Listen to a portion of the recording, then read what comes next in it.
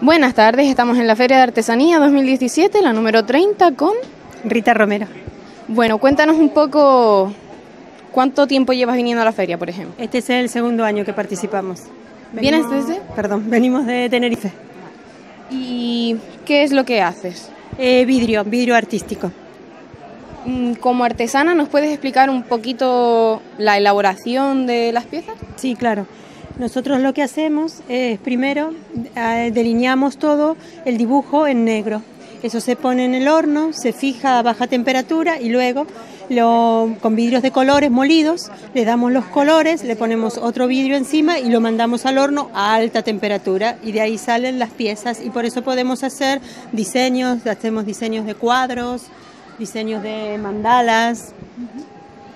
Y, por ejemplo, las piezas estas redonditas que tienes aquí, ¿cómo sería más el, el uso que se les da? ¿Para decorar paredes y cosas así? Sí, para decorar eh, ventanas sobre todo, porque el vidrio lo que tiene es que trabaja mucho con la luz. Entonces, sobre todo en las ventanas, pero sí se pueden poner en cualquier superficie lisa. Y por aquí tienes el tema joyitas y tal.